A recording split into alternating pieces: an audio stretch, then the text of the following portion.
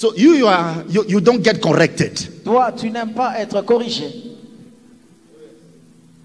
When your husband tells you off, "Mm, Quand ton mari cherche You à te bust like a balloon. reprocher, tu gonfles comme un ballon. or when your wife is trying to, Lorsque ta femme cherche to advise you, my husband, te don't go that conseiller, way. Mon mari ne va pas dans cette direction. Sasa wewe ni nani? Mimi ni Toi, tu baba es hapo. qui Moi, c'est l'homme ici. You don't tell me anything. Ne me dis rien. Do you know what? Savez-vous quoi Without kidding, Sans blaguer. the Lord watches me. Le Seigneur m'observe. My wife has more sensitivity than I do.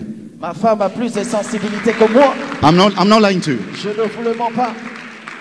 Me, I see, Moi, je vois. but her sensitivity goes beyond my seeing. Mais elle, sa sensibilité va au-delà de I'm ma telling you. Je vous le dis. There are places Il y a des I was going to do a big mistake if it was not her standing her ground. devais faire certaines I say, my husband, you are not doing it. là pour moi. Elle m'a dit, mon mari ne fait pas cela. Today, I was going to be in a mistake. Je- pu être des. But prophetically, I saw no error. je n'ai vu aucune erreur. Prophetically, I saw this is good. Prophétiquement, j'ai vu que c'était bon. But there was an evil hiding Mais il y avait un whereby it needs the sensitivity to pick it. il y avait la Not the eye, but sensitivity.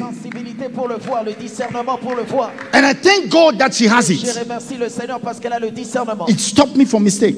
C'est là m'a arrêté de faire des erreurs. But you see, you can never accept a correction from someone else if you're not humble. De quelqu'un si vous n'êtes pas humble. You cannot accept to be told off. if you are not humble. And one of the signs that you carry the seed of Cain is when you refuses to be told off. There is Cain at work. There is Cain working. There is Cain speaking. Who can tell me of?